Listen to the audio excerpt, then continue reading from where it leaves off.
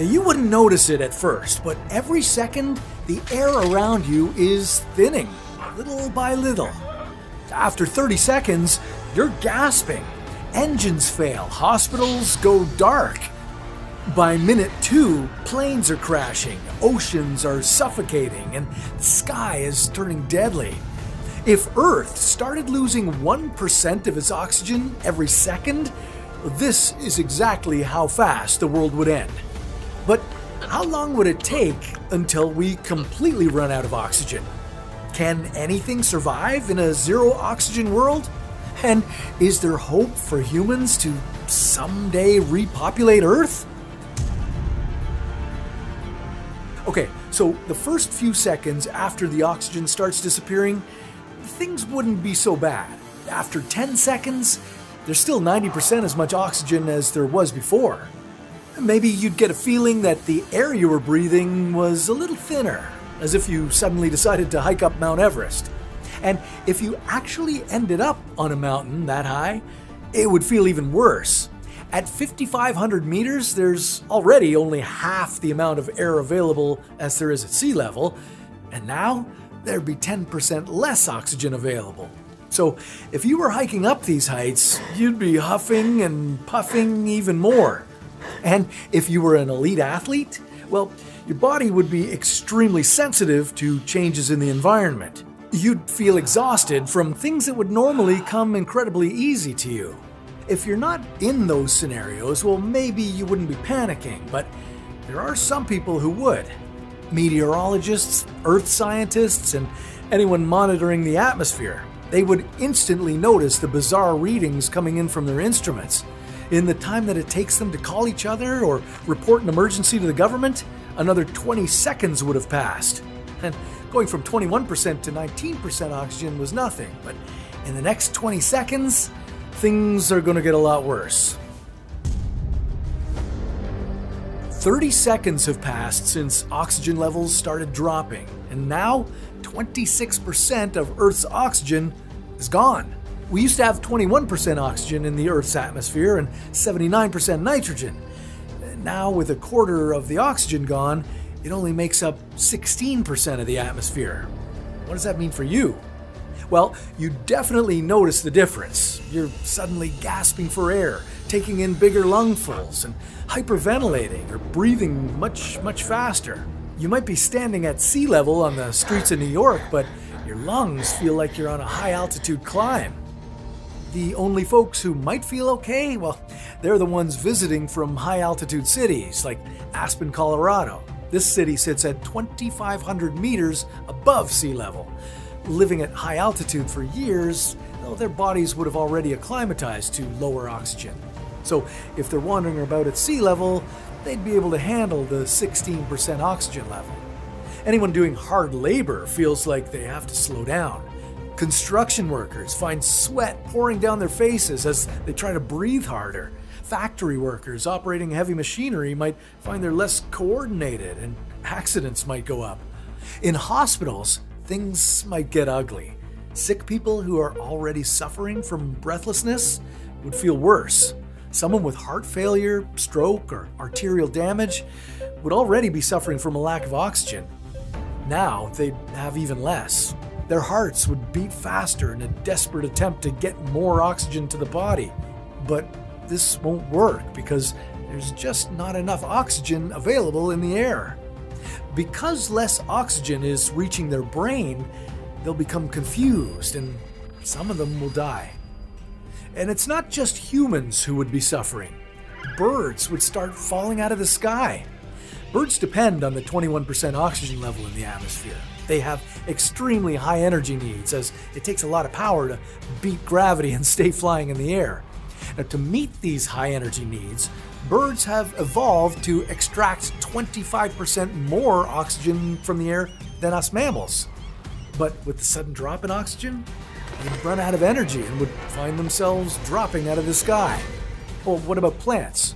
Well, maybe you think they'd be okay, as all they do is take in carbon dioxide and make sugars.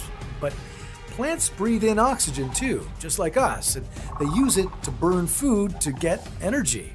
The drop in oxygen would force them to use alternative paths to get their energy. Now, maybe all this stress would make you want to have a relaxing campfire, but no luck there. Less oxygen means fires would be sputtering or no longer able to burn. This could also mean that electrical grids would go dark. Without electricity, trains would come to a halt, traffic signals would stop working, emergency signals would start to blare as automated warning systems get activated. After hearing from scientists, governments around the world will have issued the highest levels of security alerts.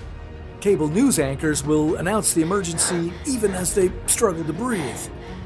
Governments may assume that it's a highly coordinated attack on their country until they see that it's happening everywhere around the world. Presidents and prime ministers will get hooked up to oxygen if it's available, but they'll be panicking as they see everyone around them struggling to survive. Out on the roads, people will start yelling and honking their horns. There'll be massive traffic jams on the highways. But why? Well, the standard combustion engine is designed to run using air that has 21% oxygen. With that percentage dropping to 16%, well, the engine can't provide the power that's needed. People will be getting out of their cars, gasping for air, and walking away. Guess we should have bought electric. Oh, it won't just be car engines that are failing. Engines in airplanes won't function properly either. Engines usually compress the air at high altitudes to extract enough oxygen to make the fuel burn. But at this rapidly depleting level of oxygen, there's not enough to help burn the fuel. Seatbelt light comes on, emergency air masks drop for the hyperventilating passengers. Air traffic controllers will see a flood of calls coming in, requesting permission for emergency landing as engines start to fail. Or even worse, planes will start falling from the sky. And it's more than just cars and planes. Anything that uses a combustion engine is in trouble. Powerboats and ships start stalling in open waters. Excavators can't dig the earth, and bulldozers come to a grinding halt. And the problems will only get worse. Okay, you're now a little past one minute, and a horrifying 50% of the oxygen in the atmosphere is gone. If you were gasping for breath at the half minute mark, well, you and everyone else around the world are now feeling a whole lot worse. Everyone is breathing faster now, breaths coming short and shallow.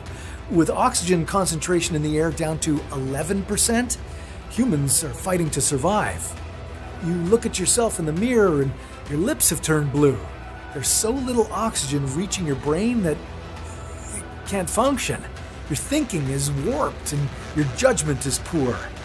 You want to pick up a phone and dial your loved ones, but you can't make your arms and legs move the way you want them to. You stagger out onto the road. What you see makes you realize the end of the world is here. It's the apocalypse. Emergency sirens are going off with no one to respond. People are staggering or lying unconscious in the street. As you look up into the sky, you see planes falling down toward Earth. The dwindling supply of oxygen has pushed engines to complete failure. One minute wasn't long enough for pilots to pull off emergency landings. You crawl back inside to avoid being hit on the head by falling debris the scarce few patients hooked up to oxygen in hospitals are still breathing, but they see the oxygen levels depleting on their cylinders and they're overcome with fear. The doctors and nurses who tended to them, they're in no shape to look after them anymore. Now, is there any good news in this scenario? Well, forest fires that were smoldering half a minute ago are now completely out. There's not enough oxygen for even hot coals to glow, let alone a forest fire to burn. Now, at this point, there's another change taking place. With less oxygen in the air, well, atmospheric pressure has dropped. Less pressure on the ocean waters means that they start to release dissolved gases.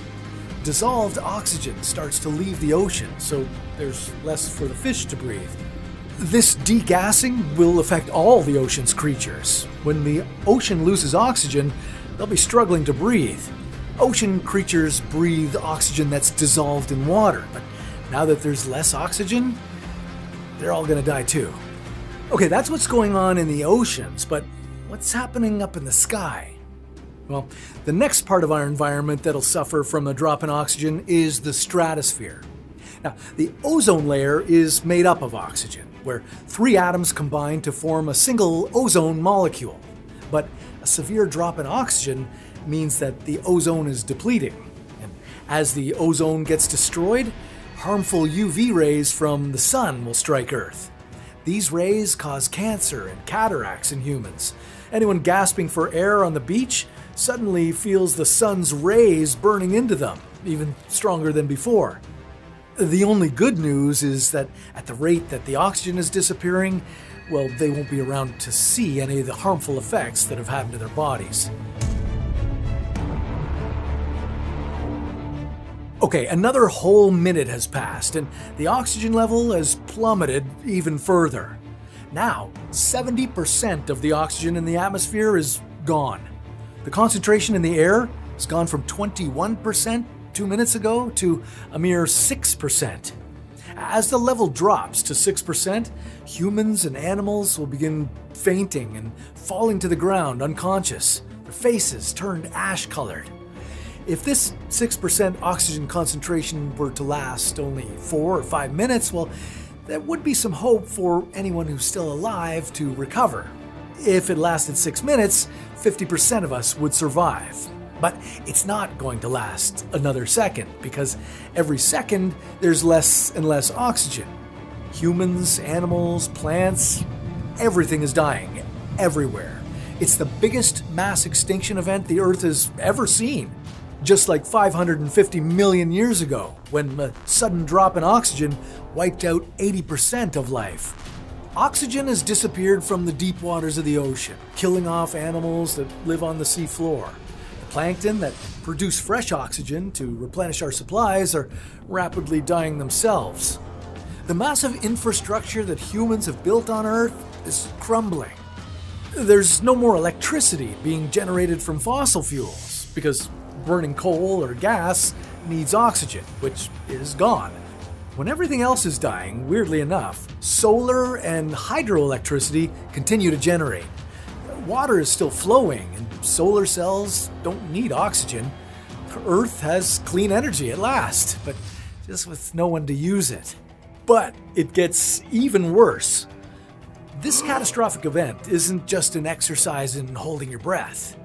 No, this is a complete wipeout of everything on Earth.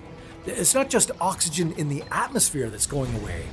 Every molecule of oxygen on Earth is disappearing. That means the oxygen atoms that bind with hydrogen to make water, oxygen that's part of the Earth's crust, and oxygen that's in concrete holding our buildings together. The oceans are becoming a sea of hydrogen as all the oxygen escapes. Earth's crust crumbles into silicon and carbon, and oxygen from concrete disappears. It can no longer bind together, causing all the buildings on Earth to crumble to dust.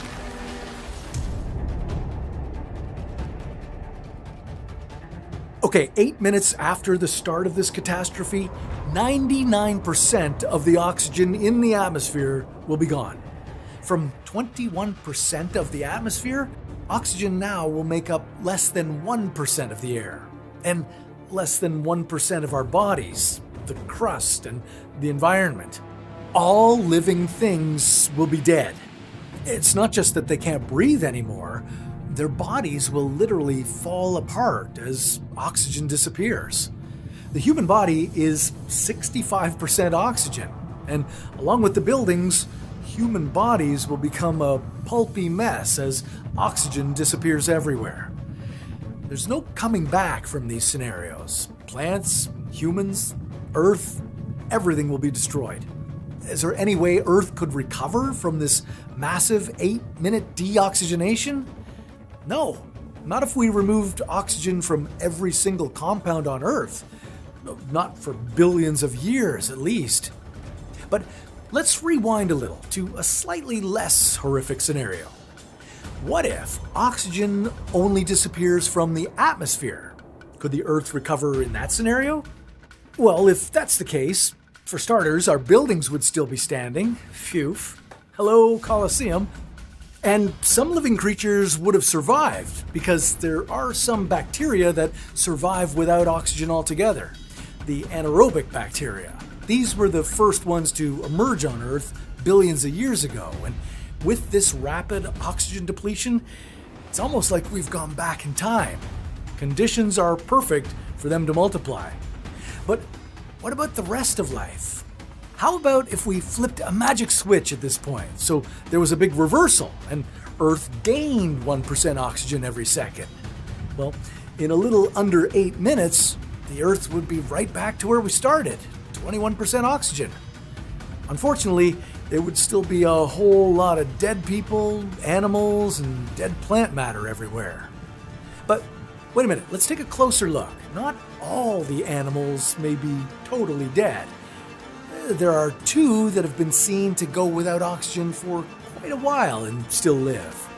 First are cockroaches. They've been known to live after being submerged in water for up to 40 minutes, so there's a good chance they're coming back to life when we flood the earth with oxygen again. Then there's the naked mole rat. It can survive up to 18 minutes without oxygen. Now, in addition to these, there's another type of creature that may have survived. It has a useful trait. It can switch back and forth between oxygen rich and oxygen deficient environments. Tell you the exact scientific term, they're called facultative anaerobes. If oxygen is available, they breathe like us humans do, but if there's no oxygen, they switch to fermentation. Either way, they survive. So it's possible that Earth would also still have these kicking around some bacteria, some yeasts, some fungi, and even some invertebrates in the ocean.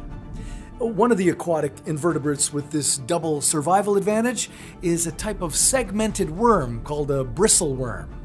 Now, if we waited for life to evolve from anaerobic bacteria, uh, we might have to wait for billions of years.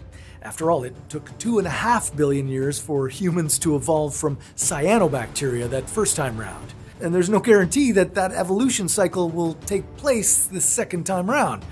At least not on Earth, which is becoming rapidly more inhospitable. More about that in a minute. A more promising path to Humans 2.0 is from the multicellular creatures, maybe the bristleworms or the naked mole rats after millions of years of evolutionary cycles would lead to a second coming of humans. Assuming, of course, that the cockroaches don't take over the Earth. But there's a time constraint.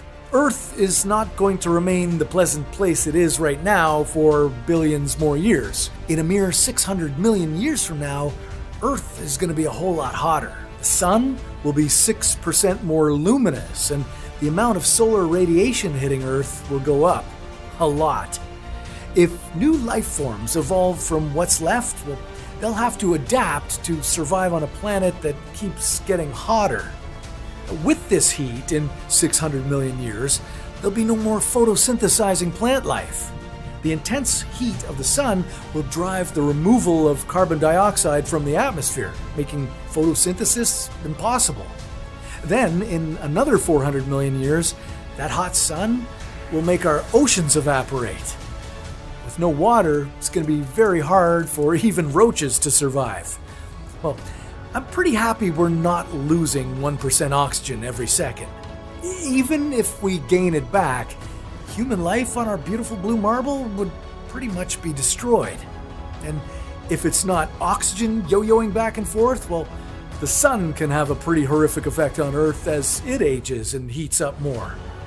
But what if we poured all the Earth's water on the sun? Would that cool it down?